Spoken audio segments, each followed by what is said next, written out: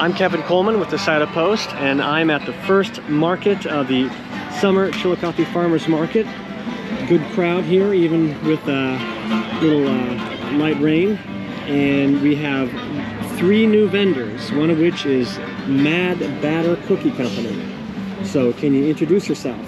Hello, I'm Madi Jenkins. I'm the owner of Mad Batter Cookie Company.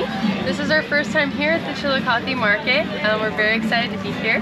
We'll here every Saturday for the summer, so we'd love to meet you. Where are you based? I'm based in Racine, Ohio. We have a home bakery. It's a small team of Appalachian girls just baking cookies and having fun all summer. So, yeah. Where's Racine? I'm trying to think. Um, it's about an hour, 30 minutes south of here. So sort of Portsmouth area? Um, do you know where Pomeroy, Ohio is? Yeah. It's about 20 minutes a little further than there. Okay, that's about the most southern you can get in Ohio. Yes, we're right on the river.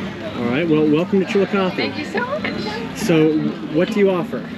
I, well, the menu changes every month. We have five to six new flavors every month. So for the month of May, we have all of our original flavors to the business.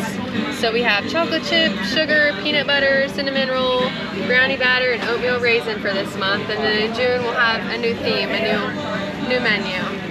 And you've got uh, convenient uh, single packages here. Yes, sir. We also have loyalty cards. So it's a punch for every purchase, and when you fill it up, you get two free. So if you come to the market every Saturday, you'll get free cookies by the mid mid season. And how can people learn more?